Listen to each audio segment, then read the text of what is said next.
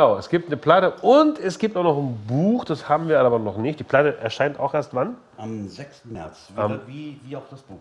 Am 6. März wird das beides rauskommen und wie gesagt, zu einem Video hat es noch nicht gereicht. Aber was ansonsten sich hinter Oil, die sich so ein bisschen schreiben wie Pill, also Public Image Limited in den 80ern, ähm, verbirgt, das erklärt uns jetzt Stefan. Ja, womit wir dann natürlich auch schon so, so eine grobe Marschrichtung haben. Also wir sind im, im Gefilde des, des Pop-Punk, äh, Post-Punk und des Experiments unterwegs, wie John Lydon es ja damals auch mit Pill gemacht hat, wo ja auch das Logo dran gemahnt. Oil ist nicht nur eine Band, Oil ist auch ein Autorenkollektiv. Äh, man kennt die vier Leute, oder zumindest drei der vier Leute aus der Hamburger Szene, nicht Hamburger Schule, das ist wichtig. Also es ist eher die alte Hamburger Szene um Studio Braun, um, um, um Rocco Schamoni, um die frühen Deichkind. Der schon erwähnte Georg Klug soll Pate gestanden haben für Leider Geil von Deich, Deichkind. Äh, Maurice Summ und Reverend Dabela haben, kommen auch alle aus, aus, äh, aus dem Deichkind-Umfeld, haben in unterschiedlichen Konstellationen Musik gemacht. Georg Klug hat mit Andreas Dora und ein Hamburg-Musical König der Möwen gemacht,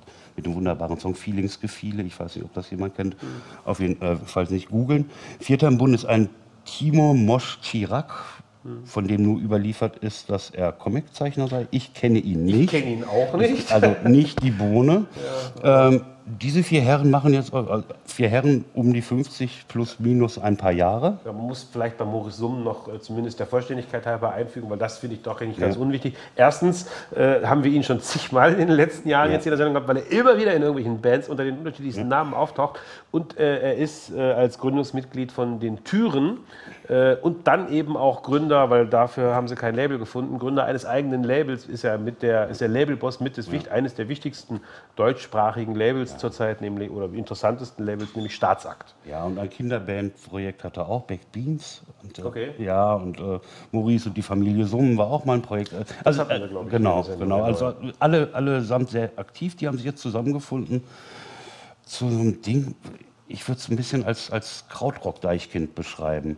Eine ganz, ganz seltsame Mischung aus eben Krautrock, äh, auch äh, jazzigen Gefilden, da wirst du mir wahrscheinlich widersprechen, aber es, gibt, es, es, gibt sehr, es, es, es gibt sehr verstörte Saxophon-Soli immer mal wieder. Äh, Wir haben ja gelernt, Saxophon gleich Jazz. nein, nein, aber ja, wo auch nur gesagt wird, Georg Klug hat mal irgendwie so halbwegs versucht, Saxophon zu, zu spielen, darum tut das jetzt halt auch.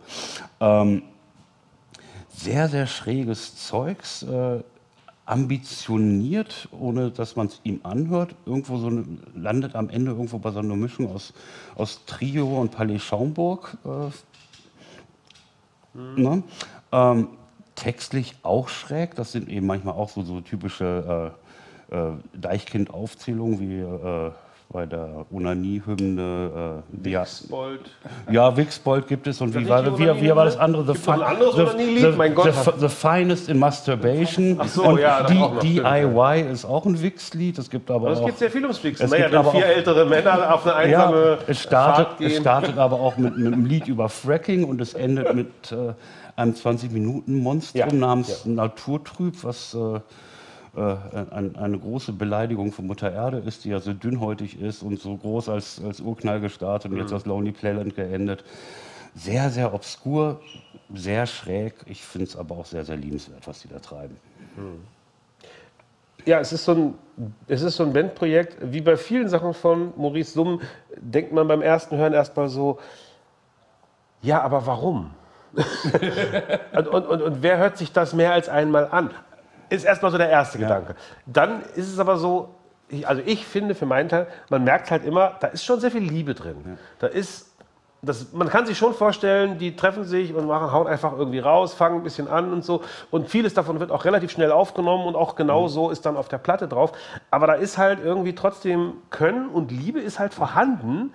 Es wird halt nur nicht so ausformuliert. Also es wird nicht bis zum letzten Exzess, sondern es wird halt irgendwie gemacht und da kommt halt viel bei raus, was was taugt. Und es kommen Sachen bei raus, die zumindest nicht doof sind. Also dieses Fracking-Lied.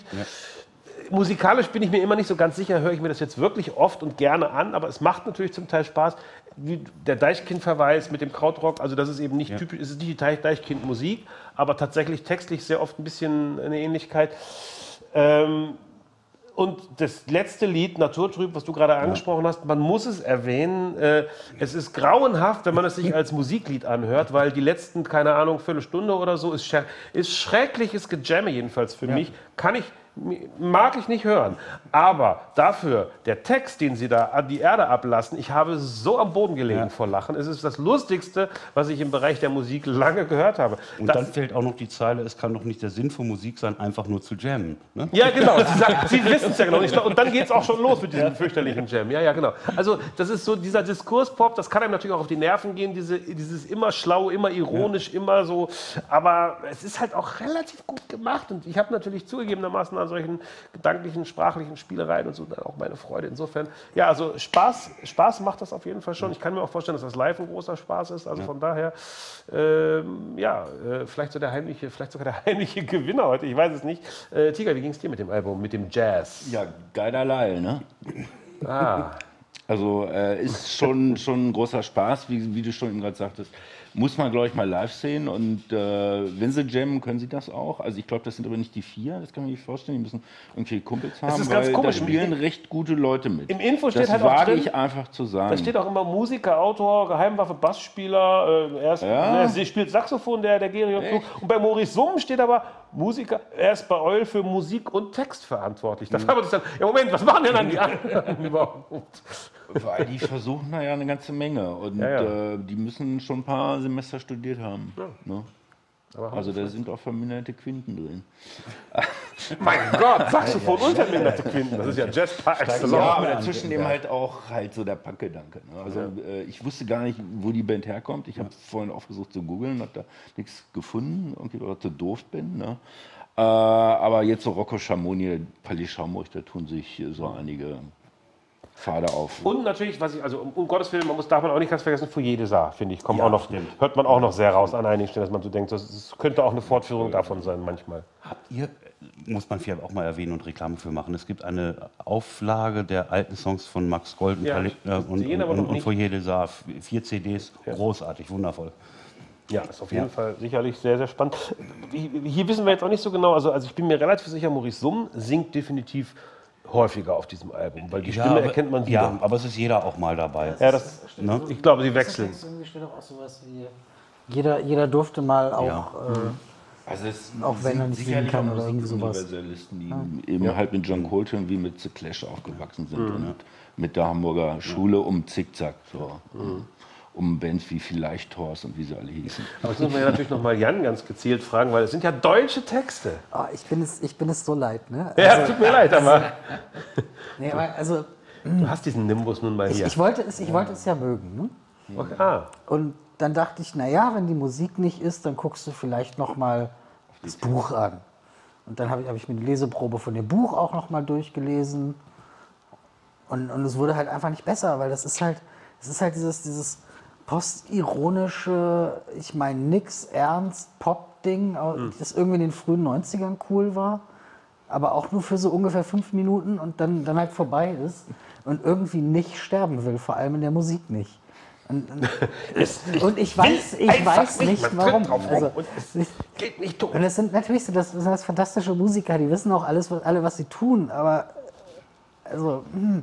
Aber das ist doch, also ich meine, das ist doch schon auch zum Teil, das kann doch, ich will nicht sagen, dass es immer so ist, aber es kann doch wirklich schwer unterhaltsam sein, ja, dieses aber, ja, aber das ist eine ständige Anzitiere von irgendwelchem Zeug, weil, ja, aber das ist doch, weil ich der Meinung bin, das reichert irgendwie Sachen mit Kontext an. Aber das ist doch deswegen dann, nicht, das ist also das, ist, das, ist doch nicht halt immer schlecht. ist das halt alles so, so komisch leer und halt eigentlich seit, seit 30 Jahren auch durch. Also nee, das finde ich, na, ich finde, es ist, es ist ja halt, nichts mehr. Also es, hat, es hat halt den Charme des Neuen verloren. Also ich habe das Album gehört und dachte, ja, okay, Boomer. Und äh, dann, also es ging irgendwie nicht. Ich, mhm. ich, kann, ich kann diese Art des, des Textschreibens, kriege ich einfach nicht mehr, ich mag es nicht. Mhm. Ich finde ja, wir leben in einer Zeit, in der sozusagen alles gleichzeitig und nichts, damit nichts mehr so richtig in Mode oder ja, angesagt bis, oder bis cool auf, oder bis durch auf ist. Die Verfahrensweisen des äh, deutschsprachigen Pop der frühen 90er, die finde ich. das ist deine Meinung, nein, jetzt würde ich sagen. Nein, das, also, stimmt, das stimmt natürlich, ja. klar. Also, äh, also, durch ist irgendwie nichts, aber es, es hörte sich für mich halt sehr nach sehr altbackenen altbackenem postironischen Witz, Rumgewitzel an. Na gut, dann kann ich ja zumindest nicht und du auch nicht komplett verleugnen, dass wir zumindest ein bisschen ein gewisses Alter erreicht haben und uns gefällt uns und die Herren, die es machen, sind natürlich auch schon in einem Alter. Vielleicht liegt es auch ja. gemein, irgendwie zu sagen, das daran. machen die, weil die sind halt alt und wissen es nicht besser. Also das ist, äh, nein, also das, äh, da, da möchte ich natürlich niemanden Ja. beleidigen. Da müsste man dann jetzt tatsächlich die jüngere Generation äh, fragen, die wir jetzt leider gerade gar nicht auf dem Sofa haben. Schade. Äh, Wobei ich Fraktus sehr lustig finde. immerhin. Oh, siehst du, die finde ich wiederum abgeschmackt. Aber da, da wird, wird zumindest ein, ein vorhandener Kontext sehr klug bedient, statt dass ich irgendwie so tue, als sei einer vorhanden. Äh, egal. Okay. Also das, das ist ein Thema für ein, ein Ja, Uniseminar, da- das ist jetzt, das ist jetzt sehr oft eine Sondersendung. Ne? Das ist ein sehr großes Thema, das machen wir vergleichen Sie die dann, das machen wir dann noch ein andermal, das machen wir dann zum äh, Tod von Maurice Summ. Nein, um Gottes Willen, das ist ja noch wahrscheinlich hoffentlich sehr, sehr, sehr, sehr lange hin. Ähm, ja, dann wollen wir die Punktevergabe machen. Die zeigen aber schon mal das, äh, das Cover. Wenn das, hatte ich denn ein Cover? Oh Gott. Doch, ich glaube, ich hatte ein Cover. Ja, da ist es genau. Ja, ja. Es gab schon ein Cover. So sieht es aus. Naja, natürlich. Das passt. Ähm, Tiger, was sagst du denn? Wie viele Punkte würdest du diesem Album geben? Drei. Drei Punkte. Mhm. Jan? Äh, Das kriegt zwei, weil 20 Minuten Jam halt auch schon ganz schön cool sind. Also Okay. Mhm. Stefan? Vier. Und bei mir sind es wieder drei. Heute ist bei mir so die große Zeit der, der, der, der äh, mehr oder weniger fast alles nur im Drei-Punkte-Bereich. Gut. Ähm, also Oil und das Album trägt den Titel Naturtrüb am 6. März, glaube ich, kommt es. Zusammen mit dem Buch raus, wenn ihr lieber die Texte. Aber die Art und Weise des Vortrags hat natürlich auch was für sich. Insofern ist es vielleicht schon ganz schlau, es als Hörbuch zu sehen mit Musik dann. Ja, sie bieten auch Konzerte und musikalische Lesungen an. Also Toll. man kann beides bei Man ihnen kann beides wenn man möchte. Okay. In Hannover kommen sie Ja, leider wir werden erstmal jetzt mal nicht. gespannt dann mal zu untersuchen, wo sich es unterscheidet. Also was das eine und was das andere. Aber egal.